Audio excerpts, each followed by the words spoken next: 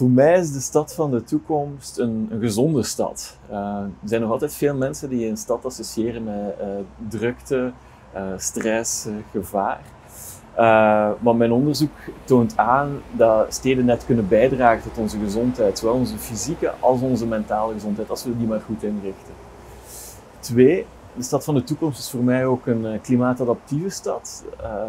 dat wil zeggen een stad die uh, ons niet alleen wapent tegen de gevolgen van de klimaatverandering, zoals uh, overstromingen of urban heat island effect, maar is, is net voor mij een broedplaats waar we ook naar oplossingen gaan zoeken om die klimaatverandering om te keren.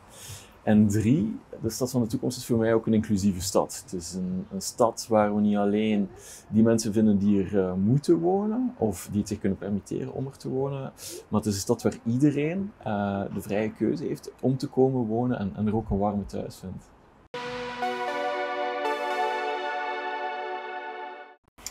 Bij de mobiliteit van de toekomst denken heel veel mensen aan uh, zelfrijdende wagens of andere nieuwe technologische uitvindingen. Uh, en dat zit er zeker aan te komen. Alleen wijst uh, voorlopig onderzoek uit dat de tijdswinst die we gaan boeken met zelfrijdende wagens door dichter op elkaar te kunnen rijden, parkeren, minder accidenten, dat die al snel gaan gecompenseerd worden door het groter comfort en de tijd die we bereid gaan zijn om langer in de wagen te gaan zitten. Dus die gaat het uh, structurele fileprobleem waarschijnlijk niet oplossen. Mobiliteit voor de toekomst zal um, eerder nabijheid uh, zijn. Hebben mobiliteit zien we vaak als een soort van factor voor uh, een goede groeiende economie. Een betere economie, hoe meer mobiliteit, maar daar komen we steeds meer en meer van terug. Daarom zetten ook steeds meer, meer en meer steden in op nabijheid. Denk maar aan het concept van de 10 minuten stad, die Parijs nu echt heel hard voert. We proberen binnen de 10 minuten binnen onze woon- en werkplaats alle voorzieningen te hebben die we nodig hebben. Van de crash uh, tot, de, tot de supermarkt. Steden zoals Oslo gaan er nog verder in. Die zetten in op de 1 minuut stad. We, we, proberen in onze straat al de meeste basisbehoeften te kunnen voorzien.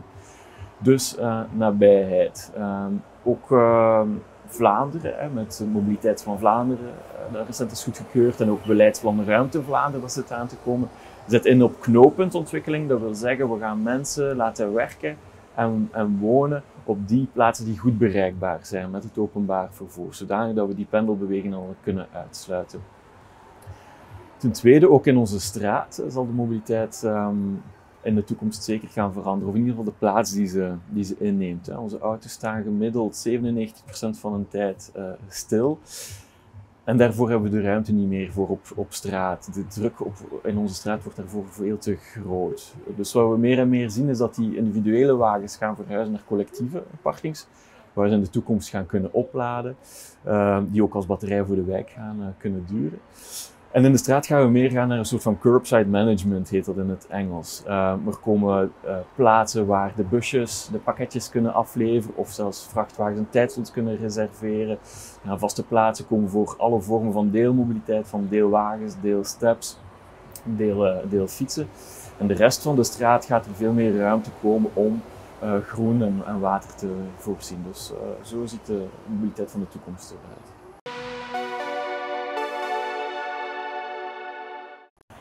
Uh, we kunnen onze steden meer leefbaarder maken, ten eerste door in te zetten op uh, beweegvriendelijkheid. We zien steeds meer steden ervoor uh, zorgen dat er meer ruimte komt om ons veilig en op een leuke manier te, te verplaatsen, maar ook aan sport te doen.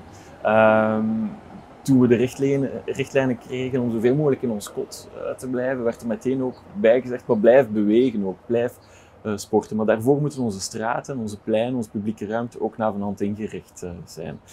Dus we zien steeds meer initiatieven waar bij uh, steden voldoende ruimte voorzien voor kinderen om te spelen, genoeg bankjes voor de oudjes om op te zitten, zodat ze ook zo lang mogelijk, zo zelfstandig mogelijk nog naar de, naar de dokter, apotheker, de Bridge Club kunnen gaan. Dus de beweegvriendelijke stad is een eerste tendens die, ik, die ik zie. Ten tweede, uh, het concept dat ook steeds meer ingang vindt, is de 880 cities. Inzetten op zowel kinderen uh, als ouderen. Als we ontwerpen voor die twee uh, uitersten, voor de kinderen en de ouderen, zal de stad ook goed zijn voor de dertiger, fitte veertiger. We hebben geleerd dat ontwerpen voor de middenmoot echt maar voor een paar groepen van de samen, samenleving een aangename stad maakt. Maar zetten we in op die twee uitersten, dat, dat maakt een, een publieke ruimte een stad die aangenaam is voor iedereen. Drie, uh, inzetten op uh, lucht en uh, geluid. We zijn eigenlijk een beetje vergeten ontwerpen met, met lucht. Nochtans, luchtkwaliteit in onze steden is aan, aan heel wat verbetering toe.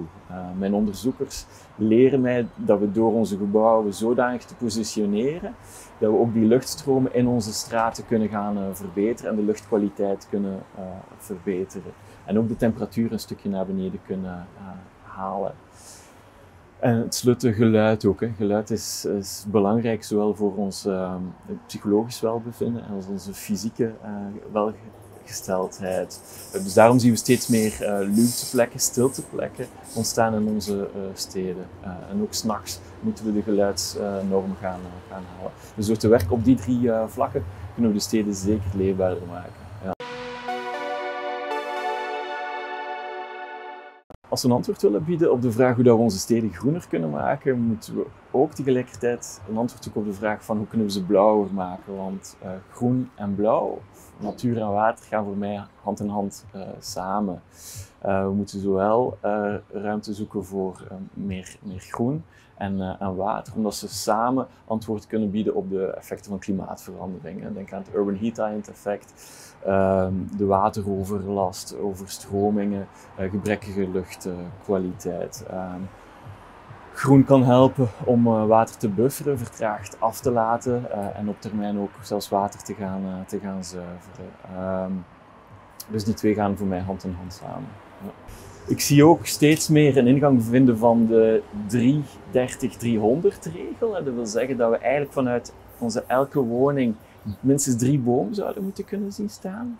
Dat minstens 30% van alle grondoppervlakte in onze projecten groen zouden moeten zijn.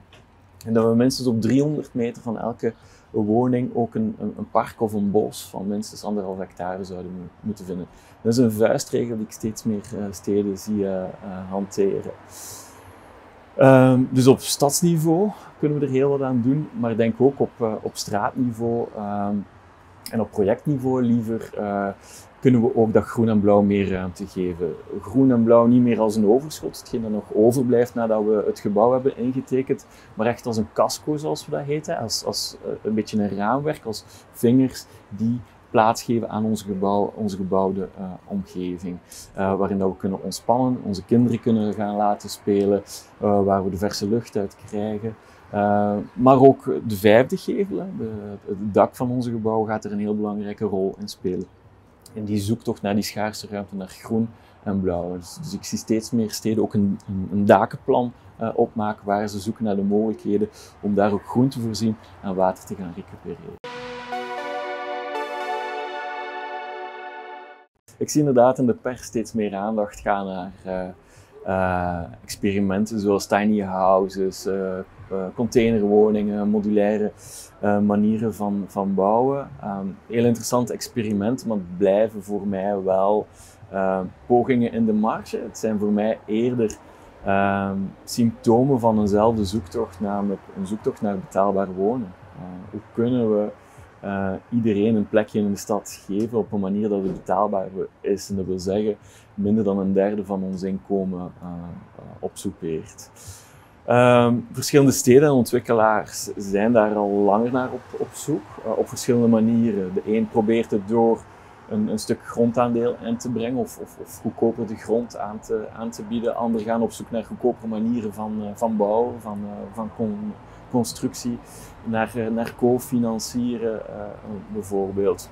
Maar het blijft nog bij experimenteren op kleinere schaal in Vlaanderen, uh, spijtig genoeg. Maar ook van onderuit, uh, bottom-up, zie ik meer initiatieven ontstaan. Hè. Dus burgers die samen de handen in elkaar slaan, zich gaan groeperen, middelen bijeenleggen om zelf een project uit de grond te, stampen. Ze richten samen een coöperatieve op. Een beetje naar het voorbeeld van de Zwitserse uh, woongenooschaften of de Duitse bouwgroepen waar uh, buurtbewoners en geïnteresseerde investeerders samen een, eh, een, project uit de grond uh, stampen en daarvoor niet langer wachten op de overheid of, of meer gevestigde projectontwikkelaars. Ja. Maar ik zie ook bureaus en organisaties meer en meer optreden als een soort van matchmakers die zoeken naar, ja, wie is er eigenlijk allemaal op zoek naar een woning, wie wil er investeren en anderzijds mensen die het kunnen bouwen ook voor hen. Die, dus die als een soort van middelman proberen op te treden en zo toch betaalbare projecten uit de grond te stampen.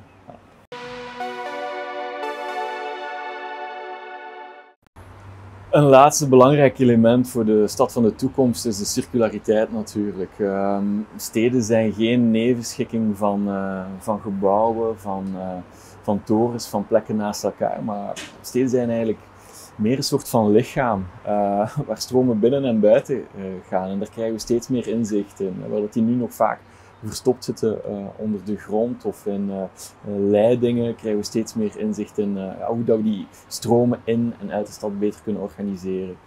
Denk aan, aan lucht en water en energie, maar ook ja, de bouwstroom, de, de, stroom van de bouwmaterialen. En minstens even belangrijk, de bouwafval wordt cruciaal in de stad van de toekomst. Um, we zien heel interessante initiatieven rond gebouwpaspoorten, waarbij we weten uh, welk bouwmateriaal nu precies in ons gebouw uh, zit. zodat als we het afbreken, wat we er ook nog mee kunnen doen, op welke manier het kan verwerkt worden. is cruciaal om de uitstoot, ook bij de constructie van die bouwmaterialen, zoveel mogelijk te gaan, te gaan beperken. Maar ook het transport. Hè. Uh, bijna een derde van al ons vrachtverkeer gerelateerd in, uh, in onze steden is gerelateerd liever aan, aan, de bouwnijverheid. Dus daar, daar rond te werken kunnen we ook iets doen aan mobiliteitsproblematiek. Dus we kunnen er rond werken op schaalniveau van ons gebouw, maar ook op stedelijk niveau zie ik steden gaan kijken welke gebouwen breken we af of gaan we afbreken de komende vijf tot tien jaar. En waar zitten de nieuwe grote bouwopgaves en daar proberen een match tussen te vinden. Dus circulariteit is ook voor de bouw een heel belangrijke opgave in de stad van de toekomst.